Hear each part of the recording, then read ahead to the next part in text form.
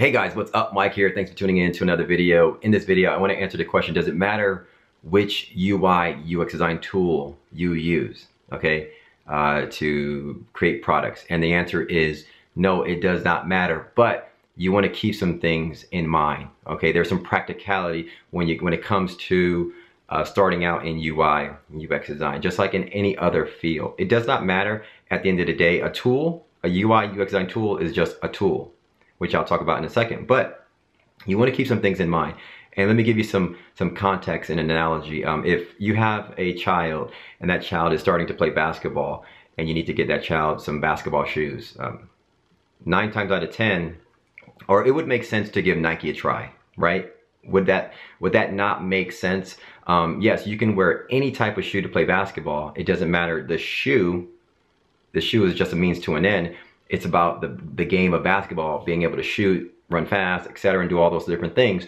But would you not give Nike a try? Of course. Jordan, Kobe, uh, LeBron James, Kevin Durant, all the top basketball players wear Nike and they've been around for years. They have a great product. Why wouldn't you give them a try? Just because you can wear Under Armour and Steph Curry wears Under Armour um, doesn't mean you should not give Nike a try, right? Obviously, 90% of the market wears Nike. They have a great product. It's great technology so you would give them a try.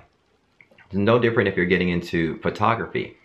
Does it really matter which camera you use? There's a bunch of different um, great cameras out there. Of course not, it doesn't matter. But if um, I'm following, let's say Casey Neistat and I'm on a video blog, right? And, and he uses the Canon 70D. Why wouldn't I give that a shot, right? Just because I could use my iPhone to blog, I would give that particular camera a shot because I want to get into that particular market, right? And if hypothetically, I don't know the camera market or the photography market, but if everyone's using Canon or Sony or, or Nikon or whatever, and that and there's a there's a growing trend of like 60% has it, why wouldn't I give that particular tool a shot, right? And so those are just the practicalities.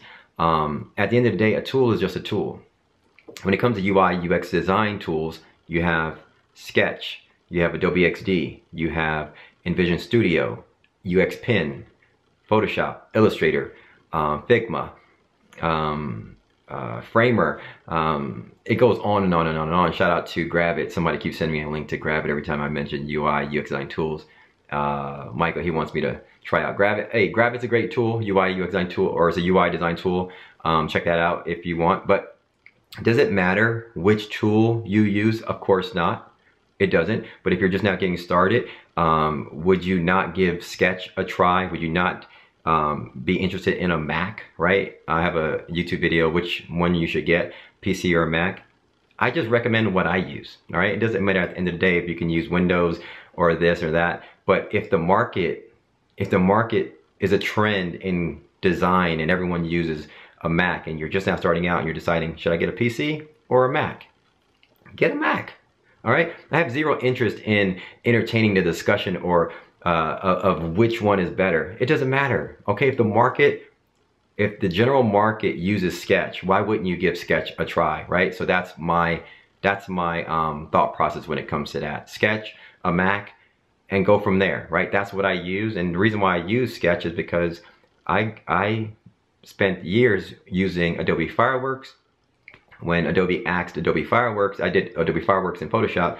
When they asked Adobe Fireworks, um, Sketch was the next best thing. It's fully featured, it's great for power users. It has um, great bitmap capabilities along with their um, powerful um, vector capabilities and it does, it has everything that I need, right? And so that's what I recommend. I, I teach, I, I use a Mac and I use Sketch, right? Could I use Figma? Could I use Adobe Axure? Could I use UX Pin? Not Adobe Axure, just Axure. Could I use Adobe XD? Could I use UX Pin? Could I use Figma? Could I use, of course, they could take Sketch away and like tomorrow and I wouldn't miss a beat. It would take me about 30 minutes to learn any other tool and every principle that I live by when it comes to designing a product would remain the same, okay? A tool is just a tool, okay? You gotta keep that in mind. Listen, and here's what you wanna keep in mind. Every UI UX design tool has the capabilities to perform about 15 to 20 essential things that everyone needs in UI UX design. I'll give you an example.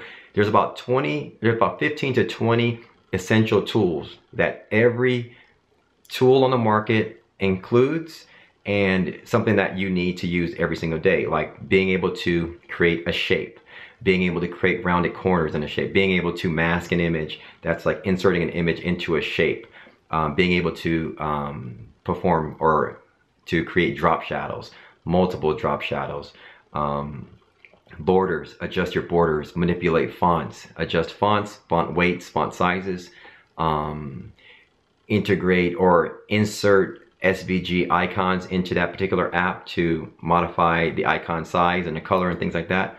Every one of these tools have this capability, right? When it comes to photo manipulation, obviously a lot of these tools may not have that capability and that's not essential to UI design. You can do that in graphic design or some other online tool like, like befunky.com and so forth, right?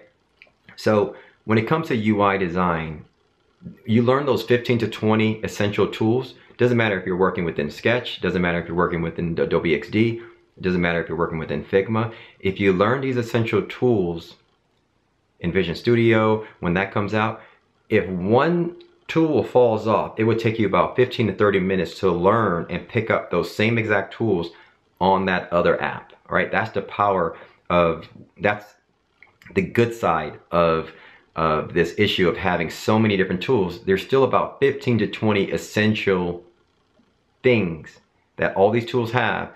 And if you know them one in one particular app, you can, your learning curve to learn that in another app is so small. You can learn it within 30 minutes to an hour and be up and running and still continue to design great products in another app. Okay, so at the end of the day, a tool is just a tool it's still you still like that's why I focus all my teachings and, and and learnings around the principle of design. I don't I don't center my entire life and teaching and education around just sketch or around just being on a Mac, okay? It's all about product design. Something that everything that I teach you can use in any tool, Photoshop, Adobe XD, and so forth. Even though I, I perform the action on a Sketch, you can use that same technique and apply it to any different tool and still perform and produce great um, products, right? It's all about using great UX design method, methods and principles, good visual UI design, and that's where